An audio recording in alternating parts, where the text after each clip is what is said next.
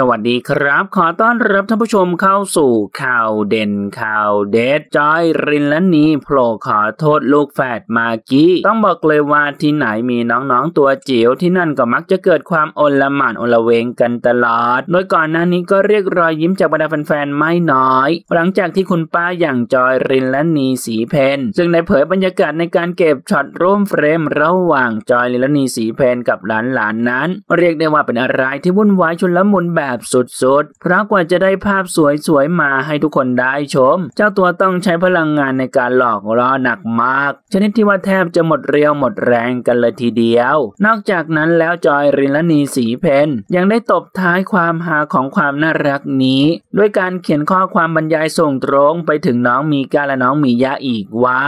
ขอโทษมีกามียาสำหรับการรบกวนของป้านะลูกฮ่าฮ่านามีกาอธิบายทุกอย่าง มียาผู้รักการกายกรรมจะถ่ายรูปก็ต้องห้อยหัวถ่ายฮ่าฮ่างานนี้เองก็เรียกเสียงความหาความน่ารักได้ใจป้าจอยรินและนีสีเพนไปเต็มเต็มและน้องๆสองแฝดก็น่ารักกันสุดๆ เพราะก่อนหน้านี้ก็ได้มีการเจอกันบ่อยๆ เพราะจอยเองก็เคยได้ร่วมแสดงละครเรื่องมามีที่รักร่วมกับมากี้ราศีและหญิงระถาโพงามนั่นเอง ท่านผู้ชมละครับ มีความคิดเห็นอย่างไรกับเรื่องนี้ลองแสดงความคิดเห็นกันเข้ามาดูนะครับ ขอขอบคุณข้อมูลจาก topnewsroom.info ขอบคุณครับ